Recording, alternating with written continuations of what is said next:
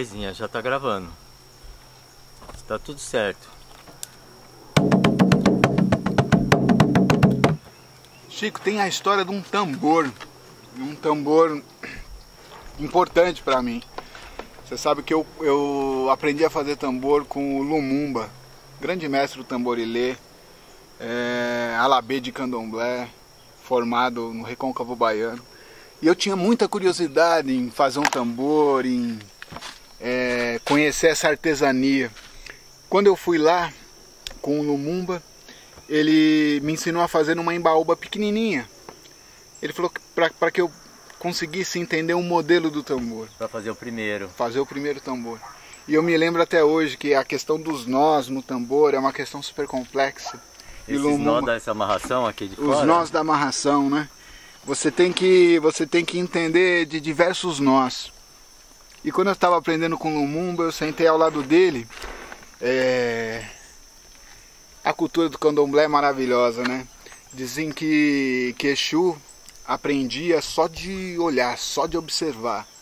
É, pouca mediação da palavra, é, mesmo a palavra oral, sem, nenhuma, sem nenhum recurso de palavra escrita. Você aprende observando, convivendo. É a arte do viver junto. Né? É, e o Lumumba fazendo o nó e eu tentando compreender aquele nó, fazendo na minha corda. E aí Lumumba dá uma gargalhada grande e diz assim: Ah, agora você descobriu, o único nó que você sabe fazer é um nó cego. Portanto, você é um nó cego. Aí, Mas eu fui insistente, eu fui insistente. Eu fiz um tambor pequeno, o Lumumba falou assim: Não, você pode fazer um tambor do tamanho que você quiser agora. Mas você tem que esperar o tempo da natureza é, não é cortar uma madeira, não é? E eu esperei esse tempo da natureza. Não deu uma semana, uma, uma forte chuva lá no bairro do Raizeiro, é, em São Luís do Paraitinga, uma palmeira imperial de um colega que chamava Sinésio, essa palmeira imperial ela caiu com um raio. Quando eu fiquei sabendo, porque foi um raio estrondoso e era um vizinho, e ele ficou preocupado da palmeira tombar e, e danificar a casa dele, né?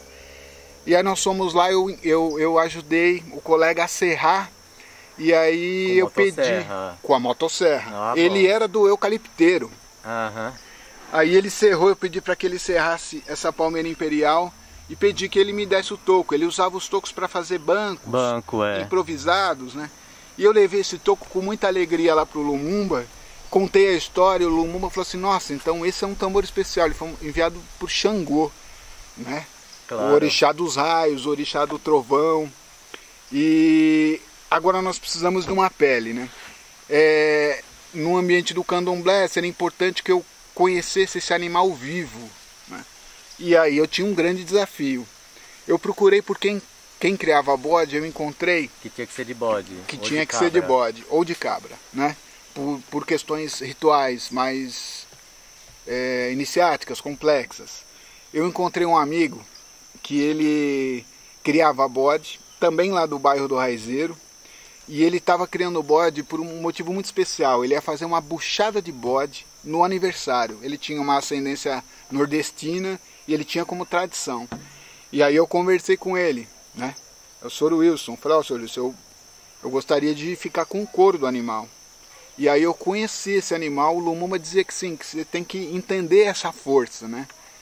É, convivi com um animal vivo, ele chamava Barnabé o bode, e aí quando ele, enfim, na ocasião da buchada de bode, ele serviu para para refeição familiar, comunitária, eu fiquei com o couro, e aí eu já tinha o couro e a palmeira imperial, e essa é uma história um pouco então de como, de como nasce esse tambor, né?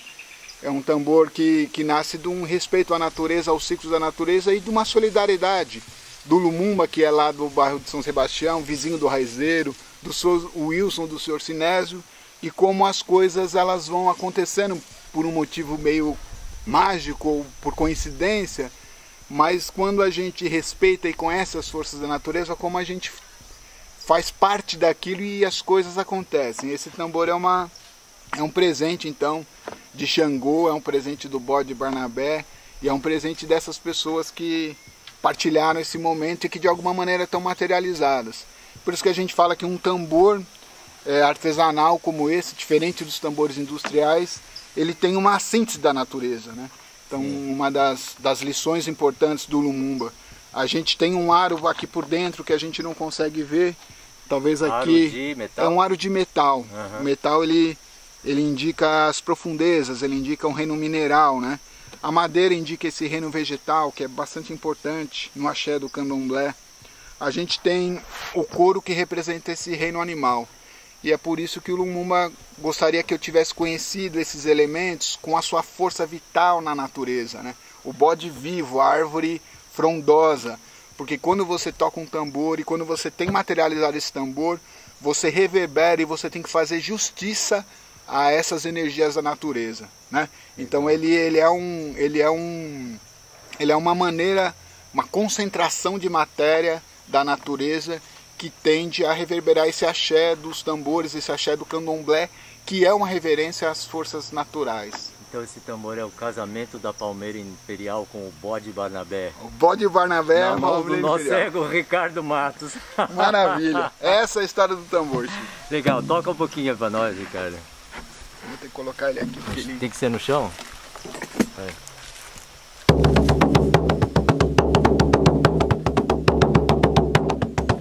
Ricardo, você falou dos nós, né?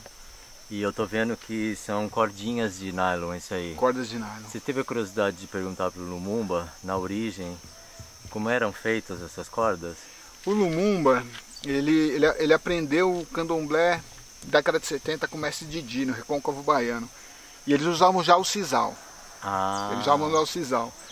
É, tem esse, esse aro de metal, a gente usava antigamente, isso aqui em São Luís também, o rabo do gambá. O gambá ele é um, ele é um animal muito abundante, que ele tem um rabo grande assim. E aquilo ficava duro? Não, eles, eles faziam essa maneira circular, que é difícil de fazer, por exemplo, com um vegetal, né?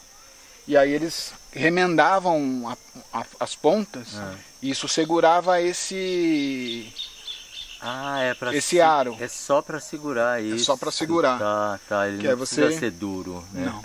Tá. Mas então o, o, já, era, já era utilizado o sisal, né? Talvez alguma maneira, uma, um cipó, mas... Sim, um cipó também daria. Ele é. daria para fazer isso. É, eu fiquei imaginando. Ou um cordão de, eh, de algodão. Cordão de, de algodão outra também. de canha, também. qualquer coisa assim, né? É uma, é uma questão complexa, Chico, porque a gente, admirador da cultura popular, a gente tende a querer a coisa mais raiz, mais tradicional, né? Mas os mestres, eles são muito receptivos com as novas tecnologias porque ajudam, né? Sim, ajudam. Vou contar uma história brevezinha. Eu estava com o seu Renan Martins afinando a viola, e o seu Renan Martins afinava a viola no gogó da Sabiá. Aí eu, eu, eu queria aprender a afinar no gogó da sabiá a partir do canto dos pássaros. Olha que lindo! E eu afinava com um aparelho. E aí eu falei, não, Sorrino, mas esse aparelho ele é ruim, porque aí a gente deixa de ouvir a natureza, né? Ele falou assim, não, mas o, o aparelho é, fica melhor afinado, fica melhor temperado. E aí eu falei, é, mas os antigos não usavam esses aparelhos. Ele falou que os antigos não tinham esses aparelhos. Agora que, que tem, a gente usa. Então é, a gente fica com o coração partido. Então é. a corda de nylon, o, o, aro que é, que é soldado com aquelas máquinas. Então muitos tambores do Lumumba ele consegue fazer com torno, que ele é torneiro mecânico, ele é um metalúrgico, ou ele foi um metalúrgico na, na juventude. Ele, ele usa a motosserra, então as ah. pessoas no ambiente rural elas vão usando as máquinas e a gente tende a achar que seria melhor se usasse daquela maneira. Tem relatos de, de tambus, tambores do jongo, feitos é, pelos mestres antigos que demoravam 4, 5 meses. Dizem que o mestre entrava numa picada do mato que só ele podia entrar e ele ficava lá com enxoque, é um instrumento que escava a madeira, ele ficava com enxoque 4, 5 meses para desenvolver aquele tambor, né? É, cavucar, né, a madeira. Cavucar a madeira. É. Hoje a gente tem uma pressa, né? Não sei, uma e, uma facilidade, né? Porque você imagina é, o trabalho, o esforço físico que tem com o enxó. É. Eles utilizavam também, a, eles cavucavam com enxó, depois colocavam a fogueira. Eu fiz esse todo manualmente aqui por dentro. Ele é escavado até de maneira irregular, Aham. porque eu achei que se eu utilizasse alguma máquina, eu traria um, Uma uma energia É. urbana industrial para o instrumento e eu não Mas queria que isso nenhuma lixa você não acontecesse. quis passar. Não tem lixa. É. O que pesa, Chico, é que para os músicos ou aquelas pessoas que têm uma preciosismo A musical, auditiva. olha uma coisa bonita, Chico. Nós estamos aqui num tempo seco. Esse tambor tem uma voz. Quando o tempo está chuvoso, esse tambor tem outra voz. Se você coloca ele na fogueira, ele tem uma voz. Tem muitos jongueiros que falam do sereno nos seus pontos, porque o sereno ele umedecia a pele e ele deixava o tambor com outra voz, Mais xoxo, né? mais xoxo. Então esse tambor ele é, é um objeto vivo na natureza. Ele está se relacionando com o clima, ele está se relacionando com a umidade, ele está se relacionando com aquele que toca. Ele tem materializado, como a gente já falou, o- os reinos minerais, vegetais, animais. Então ele é um organismo vivo. E ele e ele está ele, ele tá envelhecendo tal como a gente. Ele está em processo de vida e de morte como tudo que é vivo, tudo que é da natureza, né? Então é isso que a gente ganha quando a gente não compra um instrumento industrial. E, e a gente paga um preço que talvez seja esse preciosismo musical de um atabaque industrial que realmente tem uma conga, tem um som é, musicalmente mais consistente do que esse, tem mais notas né, no tambor. Mas aí a gente, a gente faz uma preferência pela tradição nesse sentido de que quando você dá vida àquele som é, integrado com aquele ambiente, ele tem uma importância comunitária, uma importância social, uma importância tradicional, uma importância para a natureza que é diferente daqueles Legal. instrumentos industrializados. Ô, Ricardo, você tem um outro aí, esse aí é o de Embaú? Esse, é? Esse aqui, primeiro? rapaz, esse aqui é de uma aroeira. Aroeira? Aroeira, você não vai acreditar. Mas eu morava lá num, num bairro do Raizeiro e caiu uma aroeira que ela tava. foi comida pelo cupim, mas era uma árvore muito grande. E aí eu consegui pegar esse toco. A aroeira é uma madeira muitíssimo difícil de trabalhar. Primeiro porque ela é venenosa, né? Ela tem uma casca que exala um suco Dá branco, dá uma alergia, uma coceira, Se dá uma coceira em você? dá uma coceira. Mas aí eu não é todo mundo que é alérgico, não. eu ficava com a mão meio inchadinha, avermelhada, né? Mas essa aroeira, o interessante, né, do da aroeira é que é uma madeira duríssima também, é uma madeira de lei, como a gente chama, né? As madeiras utilizadas nos, É. na construção civil e tal. É o mesmo bode Barnabé, você consegue Ah, é o mesmo Barnabé? pela até a linha das costas dele fica muito parecida nos dois tambores. É um tambor que a gente chama do candongueiro. Esse tambor grande do jongo é o tambu, por isso que ele tem a voz grossa, tum tum. E esse é o candongueiro que a gente fala que ele é o filho, ele tem a voz mais fina. E quem me ensinou a tocar os instrumentos, eu queria até mandar um forte abraço, foi o seu Zé Venceslau, Ah, que o Chico sei. conhece. Eu tenho o vídeo aí do seu Zé Venceslau, grande amigo. Ele me ensinou a bater jongo num caixote, ele não tinha os tambores. A gente pegou um balde e um caixote. E aí ele me ensinou os toques do jongo do raizeiro. Você foi outras vezes lá depois daquele dia que Você você... sabe que é, é difícil. Eu, eu ia. O, o, seu Zé Venceslau, ele vem de uma, uma formação quilombola, afro-brasileira, no raizeiro, e ele se casou com uma companheira evangélica, né? Já então- entendi o final da história. Então o seu Zé Venceslau ele me convidava para pescar. Ele era um exímio pescador, mas vocês devem imaginar que eu não tenho tanta habilidade assim na pesca. Mas eu ia para acompanhá-lo.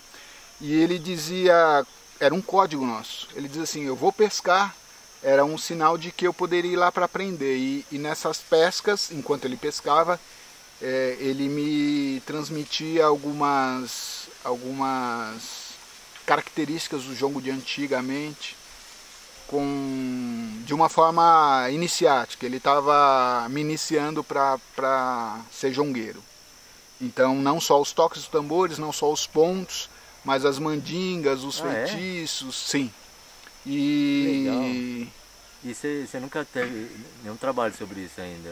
Eu escrevi um trabalho, Chico, sobre o jongo, é, que foi publicado lá na União Europeia. O pessoal lá da Europa, Ah, é uma editora portuguesa, ela se interessa por essas expressões da cultura afro-brasileira. mas está disponível isso? Esse material tem, tem alguns materiais sobre o João, tem um vídeo que nós fizemos lá na época do Raizeiro, é. que é a principal referência não, que eu essa uso. parte da pescaria que eu quero saber. Ah, não. Isso é o, são os bastidores, né, ah, não Chico? Pode. Assim, não é, não pode. Você fala. Eu quero abrir todas as cortinas, filho. O... Eu só tenho um, uma, uma coisa para dizer sobre falar. isso. O seu Zé Venceslau, ele cantou o seguinte ponto, a última vez que eu o vi. Eu lembro muito bem, eu fico até emocionado porque ele tinha, ele teve um ataque cardíaco, uhum. um problema grave de saúde. Quase morreu, né? Quase morreu. E, e aí ele estava um pouco vivendo essa, essa morte. Essa é, enfim, a presença finitude. da morte, é. né? a presença da finitude da vida, exatamente. E ele, e ele me cantou um ponto. Ele me cantou um ponto na hora de despedir. O povo aqui da roça, quando você despede, eles ainda querem sempre falar mais alguma coisa. É, é uma maneira de tá não querer que você vá embora. Tá, tá cedo ainda. ainda. Vamos chegar. Não, mas não tomou o café deles é uma, é um, é uma é um coisa jeito, maravilhosa, né? a importância da relação humana. A gente vai falar sobre isso. O seu Zé Venceslau falou assim: é, Eu lhe dou ponta de cana e você forma um canaviar. Você entende? Eu lembro dessa. Você lembra? Lembro. Ele cantou essa. Ele cantou, te dou uma ponta de cana, você. E aí forma um canaviar. E ele cantava esse ponto para mim. E dessa vez eu perguntei por que, que era uma ponta de cana? A ponta de cana, segundo ele, que conhece muito de cana, é a parte. não se planta a cana pela ponta. É uma parte É. mais difícil de dar. E ele queria dizer para mim assim que ele estava me transmitindo alguma coisa que era muito difícil de eu replantar. Talvez pelas minhas limitações, pelas minhas dificuldades, Ou mas senão era um talvez teste também. Se você conseguisse com a ponta de cana, então Ah, você então aí era- vai. tava prontinho, né? Exatamente. Então o ponto é esse. Você vai se embora, o que, que eu dou para você levar? Eu te dou de, ponta de cana, você forma um canaviar. E aí eu toquei jongo aqui com o Marculino, que é um mestre aqui do sertão, desconhecido, conhecido como papai. Aqui a gente brinca que a cultura de Catuçaba, ela tem o papai Marculino e a mãe Servina, que são referências afro-brasileiras muito fortes numa, numa comunidade muito preconceituosa, com muito preconceito racial, a gente, a gente tem a nossa paternidade e maternidade garantida por essa solidariedade afro-brasileira. E aí eu toquei o jongo com o Marculino, cantei esse ponto para o Marculino, contei essas histórias. E infelizmente a gente fez um jongo durante a festa de São Gonçalo no ano de 2020. E agora com a pandemia a gente não consegue mais fazer festa. Né? É. Não pode aglomeração e a gente tem, tem esperado passar esse momento mais difícil de pandemia. Agora que os mestres mais velhos estão sendo é, vacinados, a gente tinha mais preocupação com. Pô, os mestres aqui mais têm velhos, né? 84, seu Rinon, né? É. E eles estão na faixa de 70, 80, então a gente tem que ter esse cuidado para andar a cultura. Eu ainda. A, a ponta de cana, eu acho que eu vou conseguir replantar ela aqui nesse Ah, você não solo botou de na terra ainda, filho? Então Mas- já murchou já. Não, essa ponta de cana vai dar certo. A gente já É. teve experiências, mas o canavial para formar mesmo ainda vai ter que esperar o fim da pandemia, Chico. Legal. Ricardo, fala o seu nome e, e quem você gosta, e, é, e o nome pelo qual você gosta de ser reconhecido pelo que você faz, entendeu? Eu sou, meu, eu- meu nome é Ricardo Matos. É, aqui na comunidade o pessoal me trata por Xará. Xará. Então eles chamam de Xará. E eu gosto muito do nome Malungo. Aprendi num, com um companheiro, um mestre, que o Chico também entrevistou, o Sr. É. Jorge Faustino. Jorge Faustino. O né? Jorge Faustino contava que quando duas crianças iam para a escola antigamente, eles tinham que. A escola, do ambiente rural para o ambiente da escola, era uma caminhada de vários quilômetros. E os pais diziam que as crianças sempre tinham que ir juntas. E aqueles companheiros de viagem eram chamados de malungos. E malungo é um termo que os afro-brasileiros eles usavam para dizer daqueles que são irmãos, daqueles que são iguais. Porque o malungo é aquele que fez a travessia de África eles não chamam de África, eles chamam de Aruanda, né? Aqui, quando a gente fala de África na cultura, eles, eles chamam de Aruanda, que é uma terra mítica. É, a travessia de Aruanda para o Brasil era feita numa calunga. Calunga designa tanto a, a embarcação quanto o mar. O mar também é chamado de calunga. Mas quem fez essa travessia juntos são os malungos. E esse malungo que foi o Zé Venceslau, ele me ensinou que a partir do jongo a gente consegue fazer a travessia de volta. Uau! A gente consegue, a partir do jongo, é, fazer a travessia de volta àquela Ruanda, de volta àquela mística é, banto centro-africana. E ele, e ele me ensinou muitas coisas nesse sentido, de uma ancestralidade africana que é daquelas coisas que não, não estão escritas nos livros, é daquela coisa da oralidade de mestres antigos. E o Jongo ele conta então um pouco dessa travessia de pessoas que foram arrancadas das suas comunidades, trazidas para o Brasil na condição de escravizados e conseguiram aqui replantar essa ponta de cana. Não sei nem se tem cana na África, mas veio de lá essa ponta de cana, eles replantaram aqui e eles conseguiram fazer essa viagem de volta. Então o, Jongo ele tem um dos objetivos é, é o fortalecimento dessa raiz ancestral africana no Brasil é, e na voz do seu, do seu Zé Venceslau tem a ver também com uma forma de construir um modo de ser. O jongo é um, é um modo de se viver. E quem conhece o seu Zé Venceslau, que é raizeiro, que é congadeiro, né, sabe que ele, ele, ele, ele, ele traz com esse nome de jongo todo um modo de vida quilombola que ainda hoje é preservado em São Luís Paraitinga, na comunidade do Raizeiro. Comunidade esta que tem esse nome em homenagem ao seu Benedito Bonifácio, grande mestre raizeiro, de tantas pessoas procurarem pelo mestre lá, o bairro que era Santa Cruz do Rio Abaixo virou bairro do Raizeiro. Então, uma comunidade reminiscente, remanescente de, de quilombo, né, do pós-abolição. E seu dito de Cutia, recentemente falecido, grande mestre congadeiro que foi lá para Cutia, ele é do, do bairro do Raizeiro, foi criado no bairro do Raizeiro a congada de Pindamonhangaba foi criada no bairro do Raizeiro. Então, Raizeiro é o epicentro de uma, de uma cultura afro-brasileira que a gente teve a oportunidade de morar lá há muitos anos e conhecer, e aí eh, trouxe esses presentes. Uhum. Mestre Lumumba está lá no São Sebastião, que é um bairro vizinho. Ele está né? lá. Ele está lá. Graças a Deus, Lumumba firme e forte. Legal. Faz muito tempo que eu não vou lá, o pessoal lá vai com essa pandemia, Chico, a gente ficou isolado, né? A gente ficou receoso. É, a gente lida com mestres, como é. eu disse, que são muito pessoas é, de idade, velhos, a gente né? sempre fica receoso. Aí e... você foi escrever, né? Escrever sobre o jongo, né? E aí, mas isso é assunto do próximo vídeo. É assunto ah, do próximo Sobre o jogo não, sobre o fandango. Sobre o fandango. Vamos falar do fandango Vamos falar agora. do fandango, então? Vamos. Então, é, bom, agora já é outro vídeo.